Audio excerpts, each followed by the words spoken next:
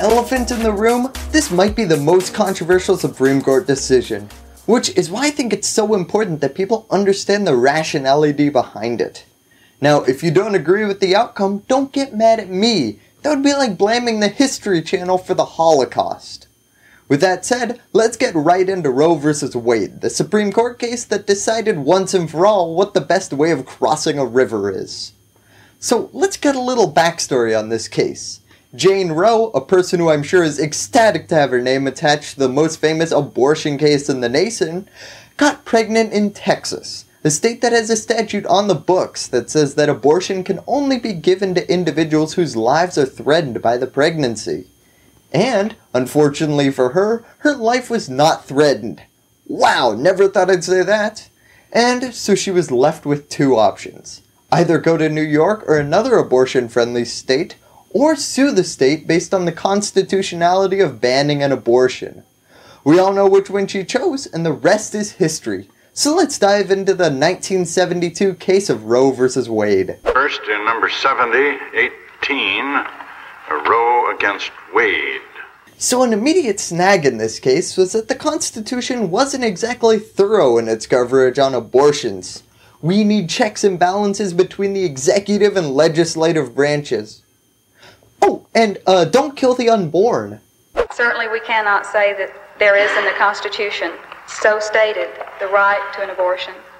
But neither is there stated the right to travel or some of the other very basic rights that this court have held are under the United States Constitution. So how would one even go about starting this conversation? Well, one of my favorite things about Supreme Court cases is that morality doesn't even play a part. It's just like book club for lawyers. So when the author wrote this section, what do you think it meant? While originally representatives from Texas argued that the Constitution didn't define what a person is, the definition of a person is so basic, it's so fundamental, that it is uh, the framers of the Constitution uh, had not even uh, set out to define. Well, they did have the time to specify that Africans were only three fifths of a person, but besides that, no people defining. Hey, that's more than half. You can round up to someone with rights. That was not where the conversation ended though, because, as it turns out, there was a better definition of what a person is out there. You see, after the Civil War, the 14th Amendment was put into the Constitution, which distributed rights to its revised definition of a person. And it says that rights are given to any person born or naturalized in the United States. According to the 14th Amendment, rights are guaranteed to all citizens born or naturalized in the United States, which at the time probably seemed like it covered everyone, but turns out it didn't cover those not yet born in the United States. It's insane to think how one word had such an impact on so many people, but granting citizenship and rights to every child conceived in the United States would have some insane repercussions. Deferred action for fetal arrivals? You can't deport me because my fetus was conceived in America. I think that would make even Jerry Springer say, uh, can we bring out the guy who married a horse out here instead? So, this became one of the central points of contention of this debate. Who does the 14th Amendment cover?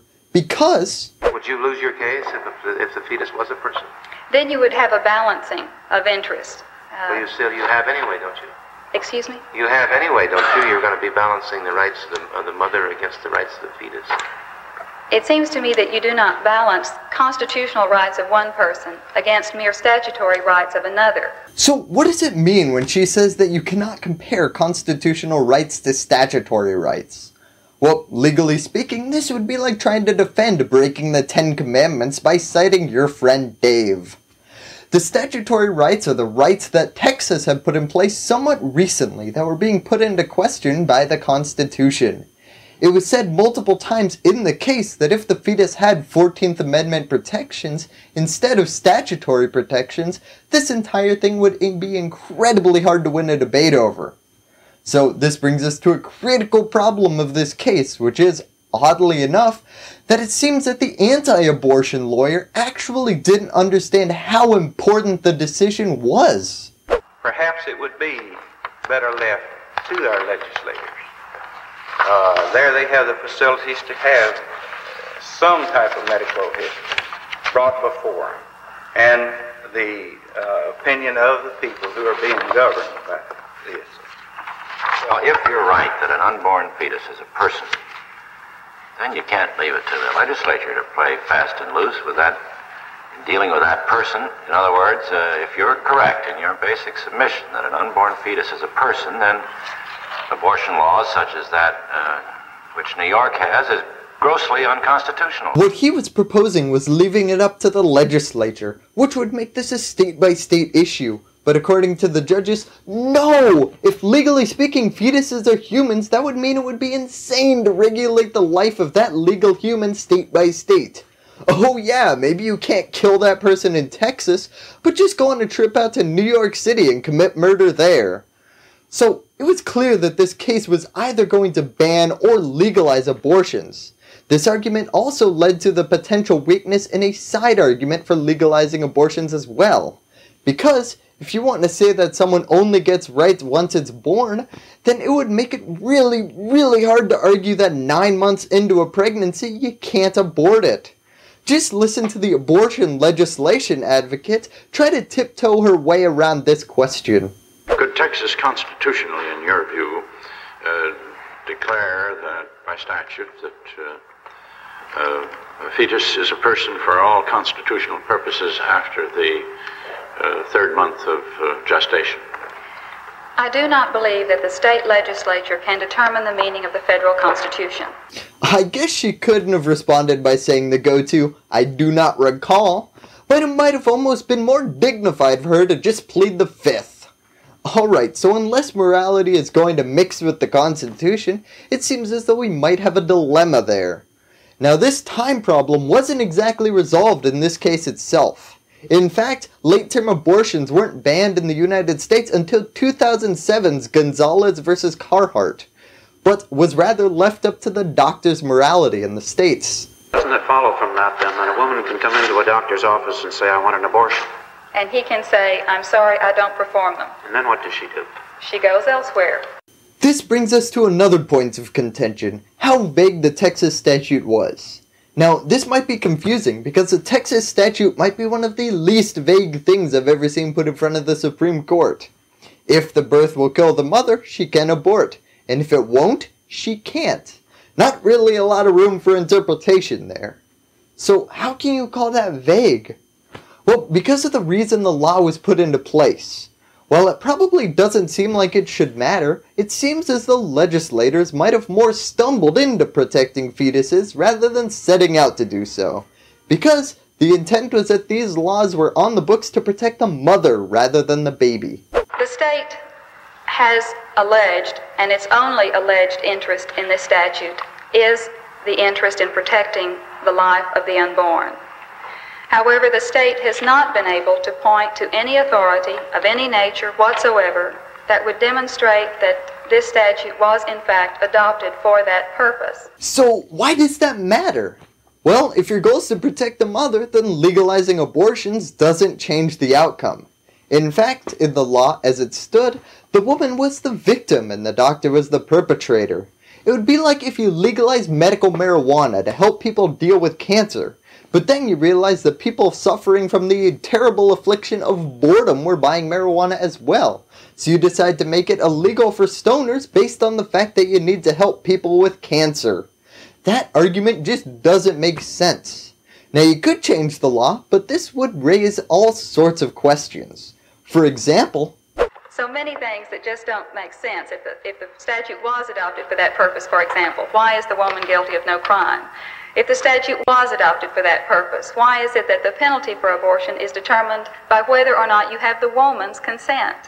If the fetus is indeed changed to be the new reason the laws are in place, then, legally speaking, some, including our president, would argue that the woman should be the one getting punished for the abortion. Do you believe in punishment for abortion? Yes or no, as a principle? Uh, the answer is that there has to be some form of punishment. For the woman? Yeah. In his defense, Trump's like a sorority girl on spring break. If you put a camera in front of him, he's gonna go wild.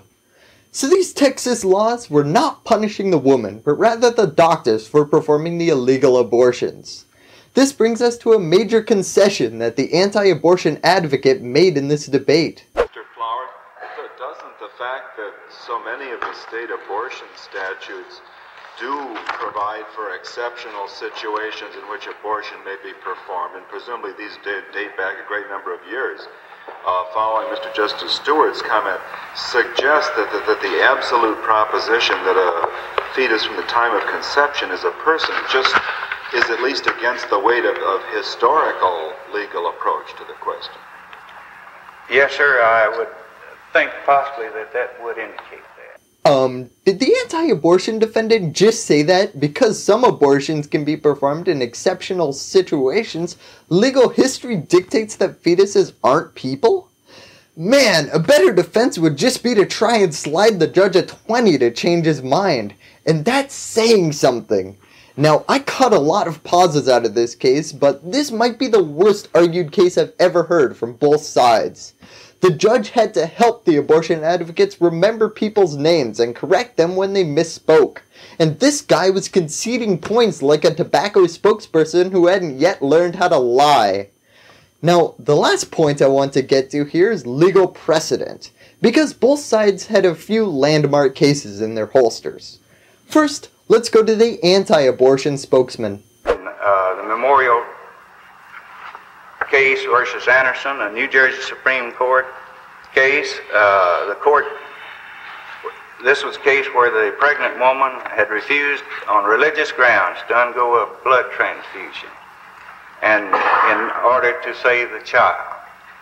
Uh, the court held that the right of the child to live and uh, to be born was paramount over this pregnant woman's right of religion. Now, if you're against abortion and want to win an argument, you're definitely going to want to remember this 1964 case. The basic idea was that a Jehovah's Witness, also known as the only people who still knock, was having a baby, although that baby was going to die if a blood transfusion wasn't administered. The mother pled the First Amendment, specifically religious freedom, that the blood would not be transfused because it was against her beliefs. But the Supreme Court ruled that, in this case, the life of the fetus was more important than the woman's constitutional rights. The line drawn, whether arbitrary or not, was that this case was about compulsory medical treatments for saving lives, rather than about elective medical operations for taking them. So now to the other side where we see... There have been two cases uh, decided since the December 13th argument that expressly hold that a fetus has no constitutional rights. One being uh, Byrn versus New York, and the other being the Magee Women's Hospital cases. The case of Byrn versus New York was reported by the New York Times in 1973, which said, The Supreme Court denied a rehearing to anti-abortion forces in New York and Connecticut who were seeking to overturn the court's January decision that prohibited state interference with termination of pregnancy in all but the last 10 weeks. The difference between this case and Roe v. Wade was that this case was trying to make voluntary abortion illegal in a state where it was legal, although this decision was one of the first ones to officially use the 14th Amendment to recognize the lack of rights given to a fetus. Now, for those of you who aren't aware, the Supreme Court case of Roe v. Wade in a 7-2 decision voted it unconstitutional to ban abortions in any state after hearing this case. And the rest is history. Sorry for this dark episode, but I was genuinely curious how this case was argued on both sides. Thank you, and that's all I have to say about that. Hello YouTube, I hope you enjoyed that last video. For more episodes of Supreme Court Saturday, click here, and subscribe by clicking here. And if you enjoyed this episode, just remember to like